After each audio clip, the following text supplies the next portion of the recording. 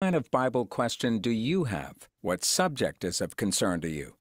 Well, this is a program designed to offer you the opportunity to call in and ask questions or comments relating to the Bible. Our host and Bible teacher, Chris McCann, will respond by going to the Bible, the infallible Word of God. Our program is hosted Monday through Friday beginning at 6 p.m. Eastern Standard Time, except Wednesdays when the program begins at noon Eastern. Call our toll free number at 888 969 9883. Again, that's 888 969 9883. There will be someone there to answer your call and give you simple instructions to be on the program. You can also join us through Zoom video by going to ebiblefellowship.org and clicking the icon at the top. If you're calling in from another country, on our website, select the toll free button to find your country's number.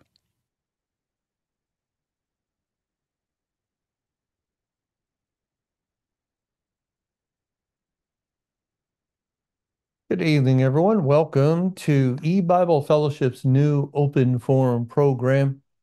During this time, we're going to open up the phone lines to take your call, and each person is invited to give us a call if you have a question or a comment you'd like to make, and I'll try to respond by going to the Bible, which is the Word of God. And the Bible uh, is our guide. Uh, that's how uh, also we follow Christ. Christ is the Word. And of course, the Bible is the Word. So as we learn truth from the Bible, as we um, learn uh, right doctrine, we follow it, and in doing so, we are taking up our cross and following the Lord. We're following Christ. Uh, and uh, typically, when when uh, we do follow the truth of the Bible, there will be affliction, or tribulation that results for the word's sake and and the suffering of living the Christian life is a result of following the word of God, the Bible, following that path, uh, that truth that the Lord has revealed to us.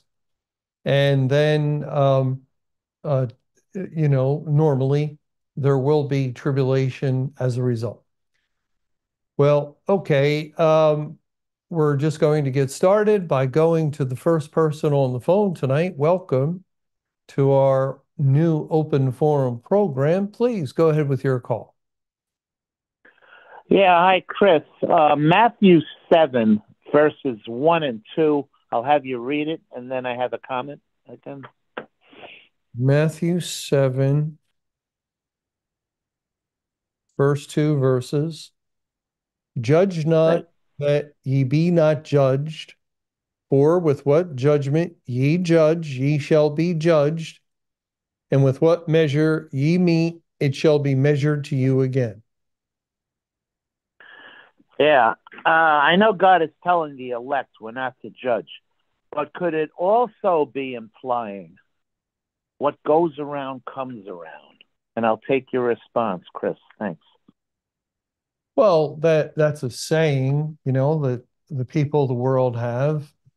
When someone does something that is uh, unkind or even cruel, uh, and and then something comes back on that person later, they they say what goes around comes around. Now the Bible says you reap what you sow, and and that that goes for sowing iniquity you know, um, being, um, uh, uh, uh, you know, cruel or or um, um, being mean uh, to others rather than trying to be kind to them, uh, or or uh, you know, there's a whole host of various sins that people do to one another, and um, and, and it's just living one's life we're either going to live a life that is following Christ, following the Word of God, or we'll live a life following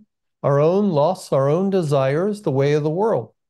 And um, and and so yeah, yeah, the um, things do come back on people. And uh, one one characteristic of uh, an unsaved person is is uh, judgment. That is judgment in the sense of judging others. Um, I I've known a bunch of people that once someone crossed them, once someone did something, you know, they they really didn't like, they um, they wiped them off their list. That's it for that individual. I'm not going to be his friend. I'm not going to uh, even greet him or or you know he's I've heard people say he's dead to me. Um, you know, men are the cruelest judges. They're the harshest judges of others. And it, it, sometimes uh, people look to the child of God and and say we are, um, you know, uh, doing something. We're judging um, due to the things that we teach. And no, no, we're we're not judging them personally, individually. We're not pointing the finger at any one person but we are judging the Word of God. Uh, we're, we're making determinations, judgments by the grace of God as the Spirit of God directs us and leads us into truth.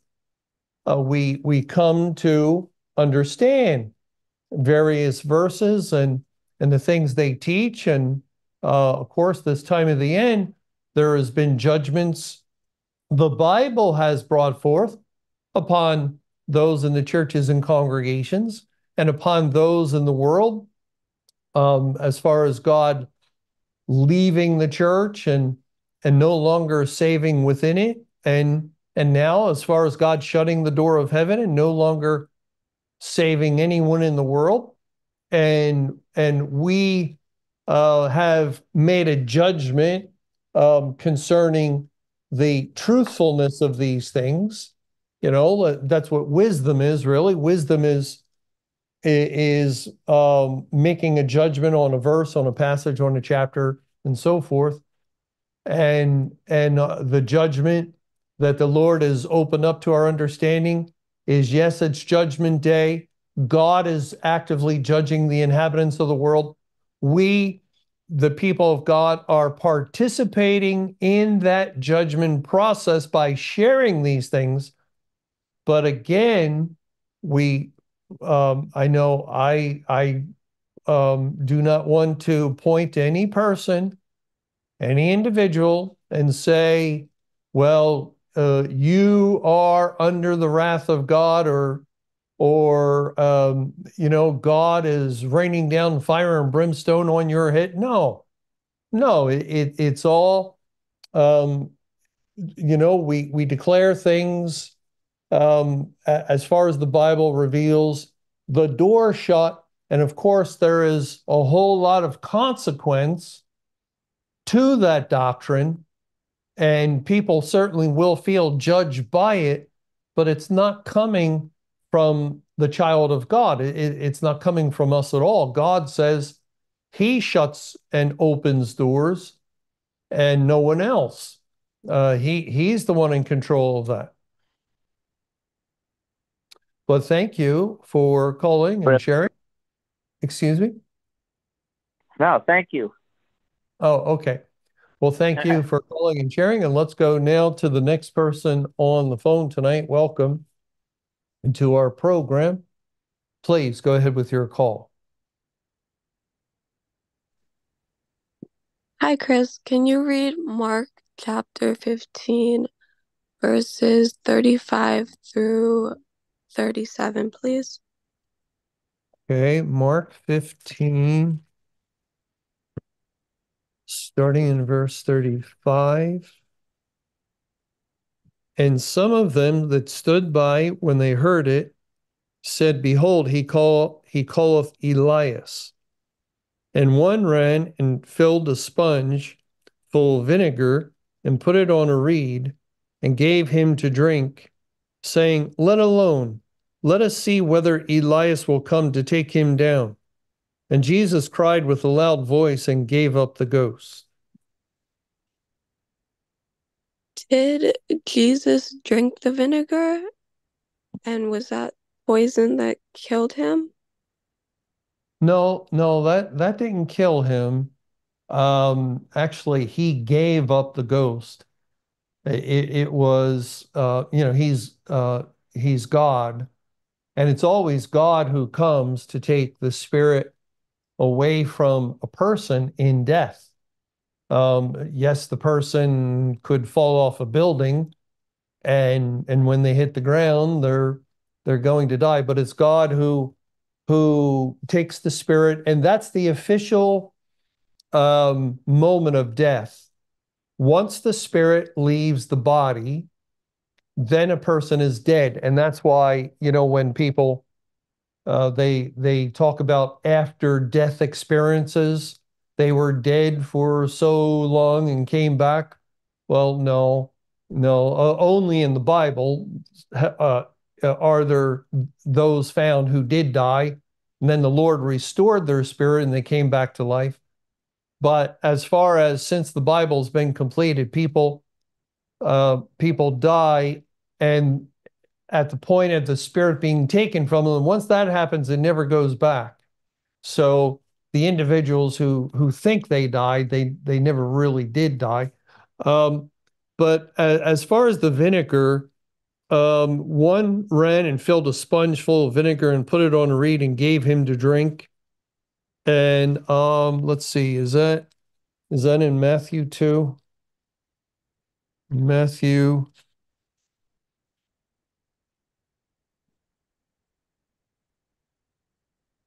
Matthew 27.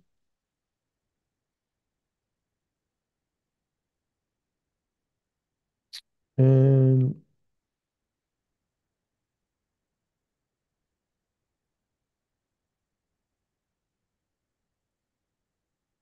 in verse uh, 48, and straightway one of them ran and took a sponge and filled it with vinegar and put it on a reed and gave him to drink.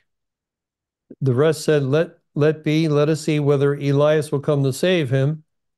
Jesus, when he had cried again with a loud voice, yielded up the ghost. So it it it doesn't say that he drank. Um, I I you know would like to see all the accounts. I'm not sure if it's in every gospel. Um, Luke 23. Does it does it speak of that there? I don't think I don't think it does. And let's see what John says. John. John 19 um, we read. And verse. No they I don't oh yeah here it is. John 19 in verse 28 after this Jesus knowing that all things were now accomplished that the scripture might be fulfilled, saith, I thirst. Now there was set a vessel full of vinegar, and they filled a sponge with vinegar and put it upon hyssop and put it to his mouth. When Jesus therefore had received the vinegar, he said, It is finished. And he bowed his head and gave up the ghost. So it's not, um, it says he received the vinegar, um, but that that doesn't necessarily mean he drank of it. They put it on a sponge and they put it to his lips, um, and and he received it in that sense, as I think that was foretold by the Lord in uh, Psalm 22. In Psalm 22, um, is it there or Psalm 69?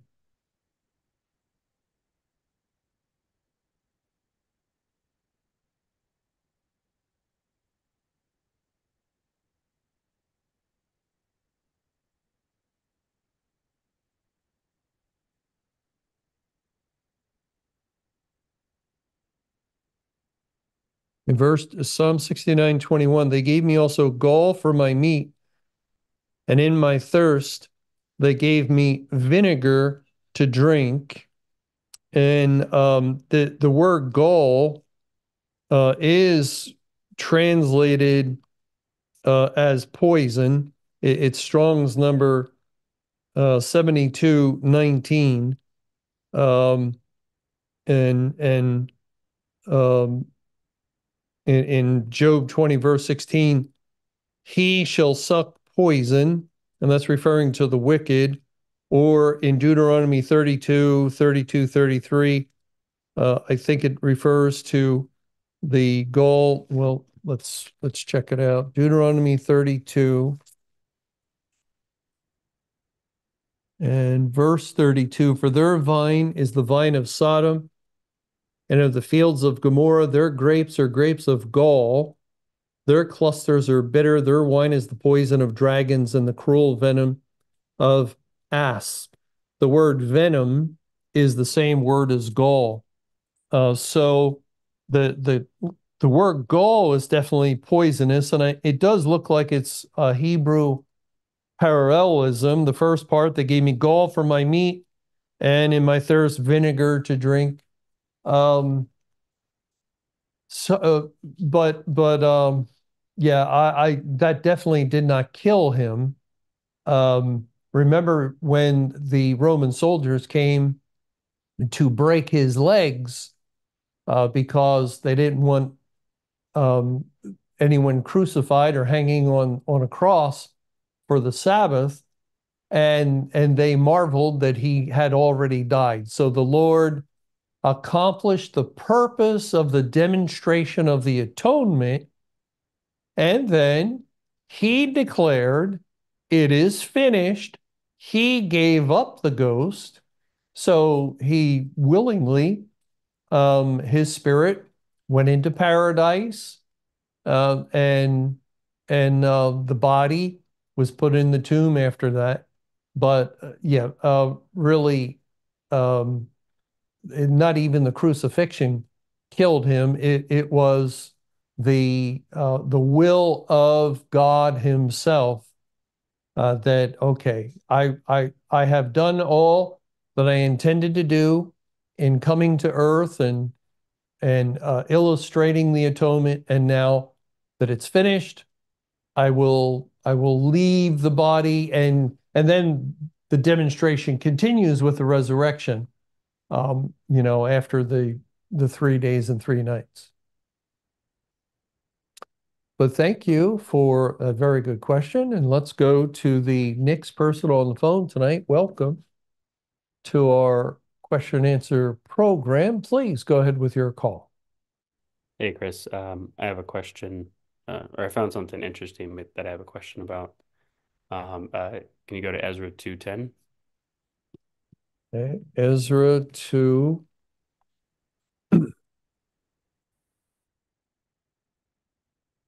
the children of Bani, 640 and 2. Now, the parallel count in Nehemiah, it mentions Binnui with a similar number. Um, 648, yeah. Yeah, 648. Now, I was looking around, and uh, if you go to, can you read Nehemiah 9, verses 4? Nehemiah 9, 4. Yeah. Then stood up upon then stood up upon the stairs of the Levites Jeshua and Bani, Kadmiel, Shebaniah, Bunni, Sherebiah, Bani, and Chenani, Chenani, and cried with a loud voice unto Jehovah their God. Now you'll notice in this verse there's two ba uh, Banis that are mentioned the one right before Kadmiel, and then the one right after uh, Sherebiah. Um, so I'm wondering if those are two separate um, people, because why why would they be mentioned twice if they're all standing up? And then if I have kind of more proof of this, if you go to Ezra 10 well, verses... yeah, but this uh, you know Nehemiah is uh, some period of time after after um, Zerubbabel and, and all Israel, or all the captives came out of Babylon and were reckoned according to genealogy. You, you know what I mean? The this Nehemiah is happening decades later, and and so men who are alive then aren't necessarily the same ones Oh, who are recorded in the genealogy. Well, in Ezra, um, if you go to Ezra 10 verses 29. Ezra 10 29. hmm And of the sons of Bani Meshullam, Malluch, and Ada, Ad, Adaiah, Jashub, and Sheal, and Ramoth. All right, and then in verse, if you go down to verse 34, 34, the sons of Bani, Ma'ad, Maadai, Amram, and Uel. So it appears that this, uh, in verse 34, that this is another Bani because it's he's mentioning three different sons. Mhm. Um, and then in verse 38, if you just read that last verse, and Bani, and Bin, Binnui, Shimei. yeah, so this this uh, third Bani that's mentioned is a son of this other Bani. So you have so verse 29, you have we call him Bani 1. Verse 34, uh, you have this other Bani which has three different names, and then in this uh, verse 38, it's a son of the second Bani. Um, and he also had a son. This third Bani had a son named Binnui. Well, um, That appears uh, there's I, I, I have a, to me, I don't think you're clearing it up. Yeah, no, it's making the mystery deeper, actually. It's not Yeah, it up. well, well, Uh, yeah. I mean, this is what has to happen. Yeah. A whole bunch of looking at it, um, because there's a lot of names, a lot of numbers, Mhm. and uh, I I think uh, just just prayer, just prayer. Um, uh, the truth is, we we won't learn or know anything unless God's um, going to reveal it to us, and and God reveals things according to His will, uh, like like uh, Luke 24 tells us in verse 45, then open he their understanding that they might understand the scriptures. And, you know, that was opening uh, in the first century. And and they they did increase knowledge, increase understanding. And then God opened up the understanding of his people at the time of the end of the church age, in the Great Tribulation into judgment now. And he he will reveal secret things. Secret things. Deuteronomy 29, 29, the secret things belong unto Jehovah our God. Uh, but uh, let's go back there, make sure I quote it right. Deuteronomy 29, verse 29, the secret things belong unto Jehovah our God, but those things which are revealed belong unto us and to our children forever, that we may do all the words of this law. So God has, you know, all the wisdom and knowledge um, that is all secret. It's all secret because only He uh, knows truth and and knows about himself and knows his plans. So that's how it starts off. When when the Lord first created the world, he possessed all knowledge, and now he creates the world and he begins to reveal even through the creation. You know, the the sun, moon, and stars are they give testimony uh, to all inhabitants of the earth and especially through divine revelation, he began to give the Bible.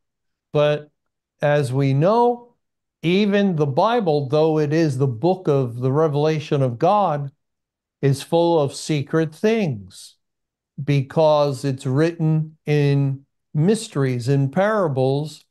God verily is a God who hides himself, and um, it, it, it's according to his glory to conceal a matter and it's the honor of kings to search it out. And uh, so we we get involved in that process, and we've, by God's grace, really uncovered just an enormous amount of information over the last uh, several decades. Uh, just just tremendous amounts of spiritual information that that was hidden. It, it was um, in the form of parables, and and the Lord's brought it forth. Um, uh, you know, there's there's a good verse in Matthew 11, a good um, actually a good passage that that helps us a lot. Matthew 11, verse 25. At that time, Jesus answered and said, I thank thee, O Father, Lord of heaven and earth, because thou hast hid these things from the wise and prudent and has revealed them unto babes. Even so, Father, for so it seemed good in thy sight. All things are delivered unto me of my Father, and no man knoweth the Son but the Father, neither knoweth any man the Father save the Son, and he to whomsoever the Son will reveal him. You see this language, no man knows, in the context of hidden truth, secret things, and in the context of God revealing the secret things. And, um, and, and he reveals them to babes. I think the reference here, the wise and the prudent, has to do with the the uh, church lead historically the church leaders of Israel. They they were the so-called wise men. They they were the ones uh, who had the the training. They were the learned ones supposedly, and we could identify that with those in the churches and congregations, that the scholars, the theologians, you know, who write the commentaries. Well, God has hidden a great deal from them, and it, it's according to the will of God to reveal them to babes, to to babes, to His people, um, you know, who who of ourselves were nothing we're nothing. We, uh, you know, I, I think it's really something um, uh, uh, with E Bible Fellowship. You know, with our our housetops programming. Um, I think you can, even though we just started, we just started. Uh, I, I know that, but I think you can right now put up uh, all the teachers that are teaching on housetop, uh, our housetops, compare it to the teachers who taught in years past on Family Radio Echoes, uh, for a number of them, the, the pastors especially, and you'll see uh, much better teaching in the sense of uh, really uh, getting right to the meat of the word, looking for the spiritual meaning. Um, and and e Bible fellowships teachers are not trained. They're not trained. They're they're just uh, you know regular guys, and and yet the Lord has been instructing us diligently um, with Family Radio, with the Open Forum, Mr. Camping, and it's continued over these years since May 21, 2011. The Lord just keeps instructing us and and showing us the proper biblical methodology, giving us the Spirit as a guide, guiding us into truth.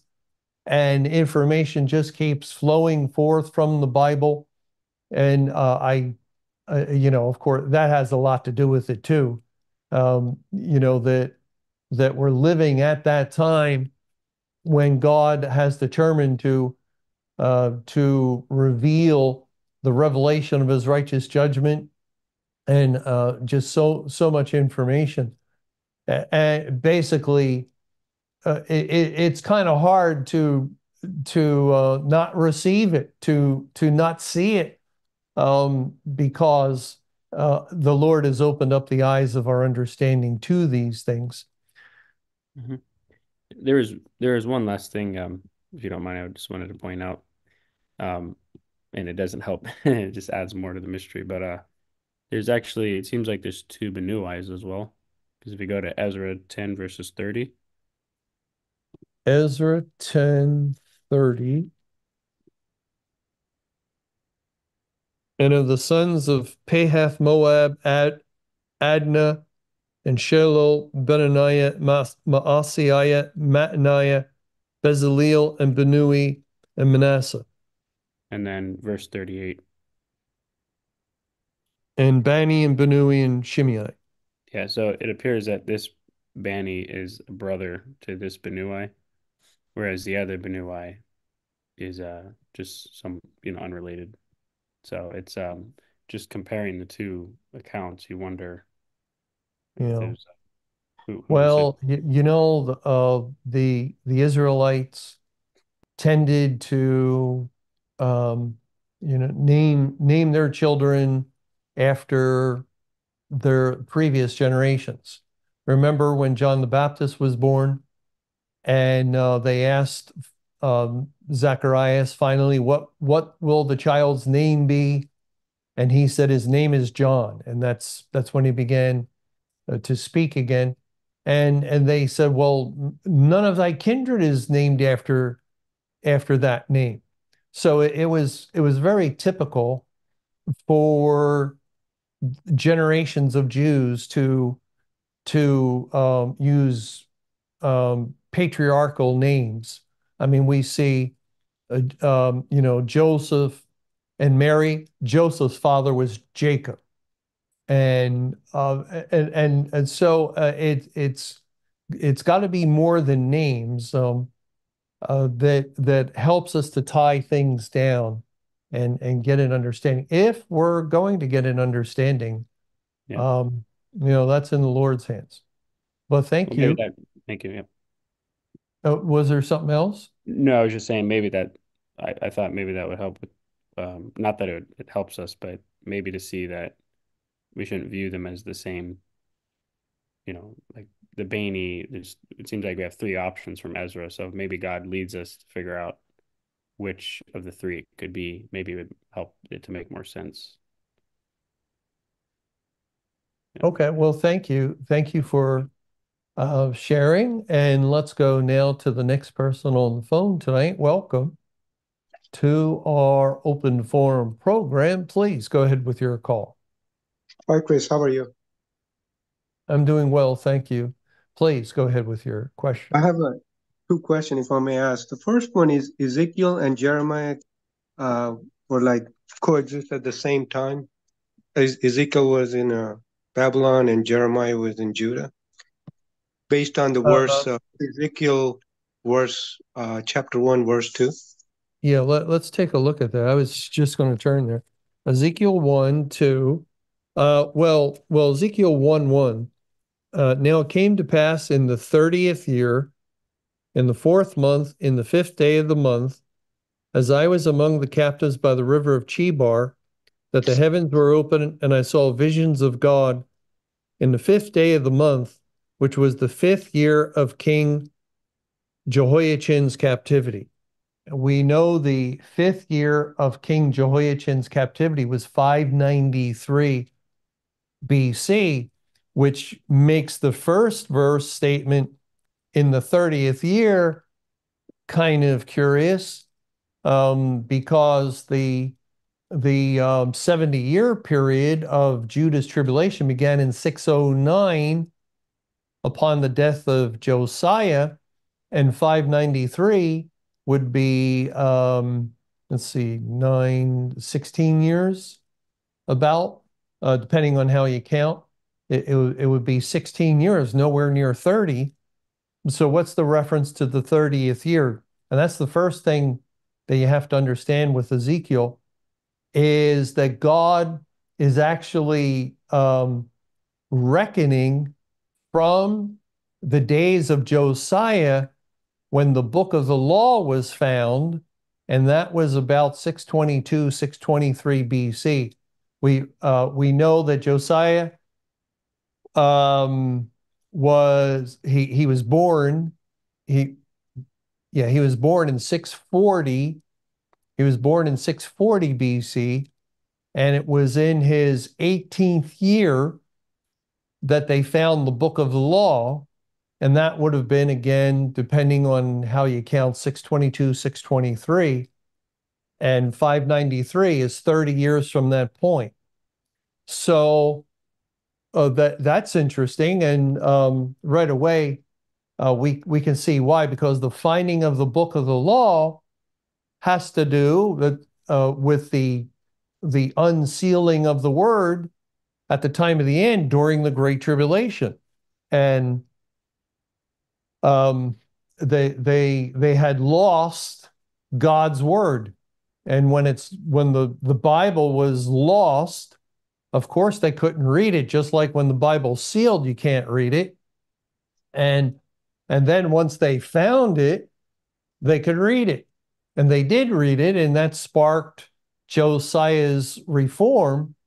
You know, uh, he he read it, he uh, he was shocked at, at what God had said, and he went about cleaning up all Judah. But um, that that also um, let's see, if you go from, say, 623 BC, the finding of the book of the law, if we use that date, till 539 BC. And 539 is the 70th year of the 70 year tribulation. Well, um, from 539 from 600 is 61 years. And then 623, 23 years from 600. So you have 23 plus um, 61, and, and that's 84. So from the point of finding the book of the law until the whole 70 year span is over with is 84 years, and 84 is the number of tribulation. We, we know the three and a half days, 84 hours, the seven years of famine in Joseph's day, uh, seven times 12 months is 84 months. And, and there's other, other figures too. Um, and, and also the breakup of that 23 years until 600, 61 years thereafter, uh, we, we have the actual 23 year Great Tribulation broken up 2,300 days plus 6,100 days for a total of 8,400 days uh, in, in the exact 23 years. So that, that's the first thing. And this tells us that, yes, Ezekiel was, um, uh, uh, he, he was prophesying the same time as Jeremiah, uh, although uh, later, later, uh, it, Jeremiah tells us uh, I think it's Jeremiah 25. If we go to Jeremiah 25, uh, we we read in verse 1 the word that came to Jeremiah concerning all the people of Judah in the fourth year of Jehoiakim, um, that would be 605 BC, the son of Josiah, king of Judah, that was the first year of Nebuchadnezzar, king of Babylon the which Jeremiah the prophet spake unto all the people of Judah and to all the inhabitants of Jerusalem, saying, From the thirteenth year of Josiah, and again, Josiah began to reign 640, so Jeremiah began to prophesy in 627 BC.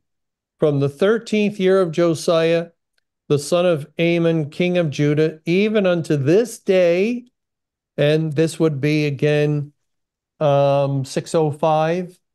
So from 627, it, it's amazing how 23 and 84 pops up. 627 to 605 inclusive is 23 years.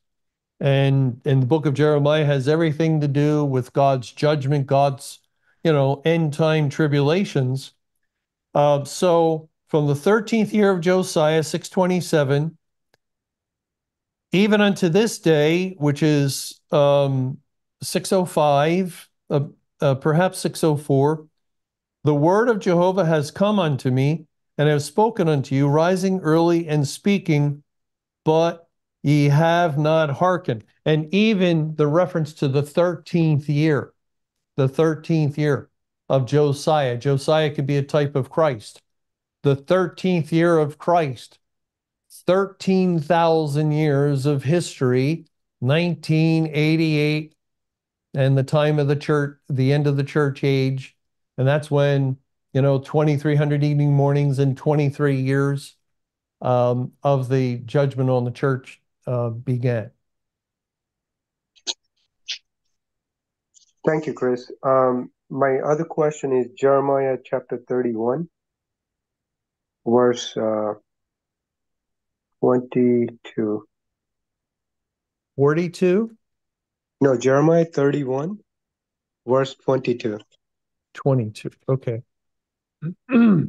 Jeremiah 31, 22. How long wilt thou go about, O thou backsliding daughter?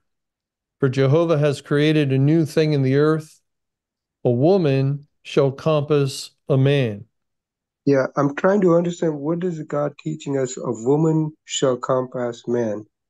I don't understand uh, that parable. Well, um, the the the word for woman isn't the normal word, not the usual word. The usual word, excuse me, the usual word is the the usual word is um, Strong's 802, and this is 5347. Uh, this word is normally translated as female.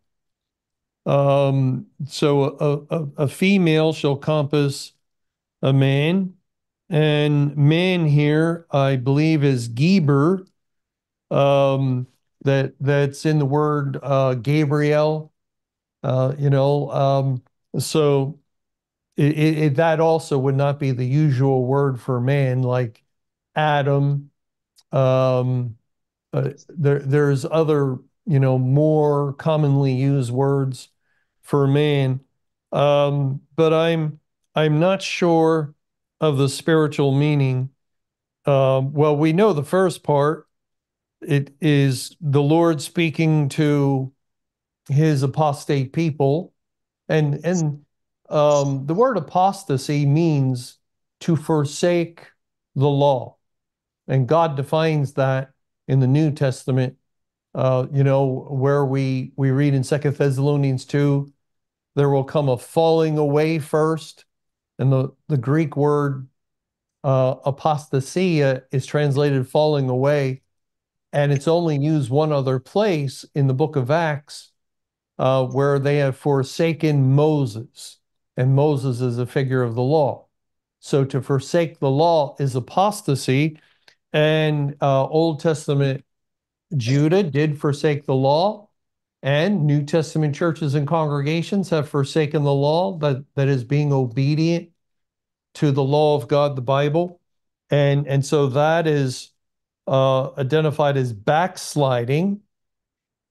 Uh, o thou backsliding daughter, for Jehovah has created a new thing in the earth. A woman shall compass a man. I don't know.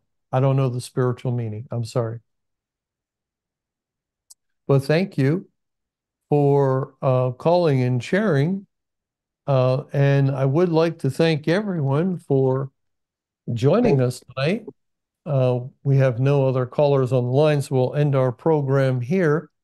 Um, thank you for joining us, whether listening at home or on Zoom. Uh, of course, if you're on Zoom, you can also be at home. Well, listening over the airwave or or on Zoom, however you been you're you joined us, we're glad you did.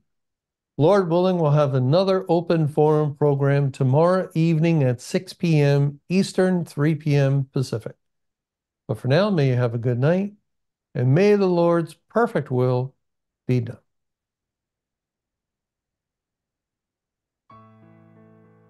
Thanks again for joining us for eBible Fellowship's live open forum program. You can call in with your Bible questions Mondays and Tuesdays, Thursdays and Fridays beginning at 6 p.m. Eastern, and Wednesdays beginning at noon Eastern.